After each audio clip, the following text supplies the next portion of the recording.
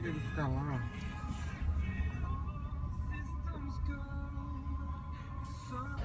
Então, gente, hoje é dia de Animal Kingdom. Hoje é sábado. Hoje é sábado? Hoje é sábado e é dia de Animal Kingdom. A gente já chegou aqui no parque. E aí depois eu filmo mais pra vocês. Então, gente, a gente acabou de chegar aqui no parque. Ela tem a árvore aqui, a entrada pra lá. Os meus pais estão passando na revista da mochila. E é isso, agora a gente daqui a pouco já vai entrar. E aí eu vou filmar pra vocês o parque, tá bom? Então é isso aí. Então, gente, a gente entrou no parque. Ai, tem uma abelha ali, meu Deus. E aqui, ó. É. Ai, Pedro, tem você. Tudo bom. Tchau. Tchau, tchau. Pra lá que é? E agora a gente tem o Fast Pass pro Vida de Inseto, a gente tá indo pra lá. É árvore, que é o símbolo desse parque. Então, gente, agora eu vim no brinquedo do Vida de Inseto, eu tinha Fast Pass pra ele. E é um cinema 3D, a gente tem que usar esses óculos Super Fashions, que são inseto. Isso aí, ó, meu irmão tá vendo aqui, ó. É isso, aí agora a gente vai aqui e depois a gente vai ver o que a gente vai fazer, que eu não sei ainda. Tá bom? Então vou lá ver o filme. Então, gente, a gente tá aqui na fila pra tirar foto com o Mickey e com a Minnie. Porque tá sem fila, o parque tá meio vazio, assim. Então tá sem fila e agora a gente vai lá tirar foto com o parque.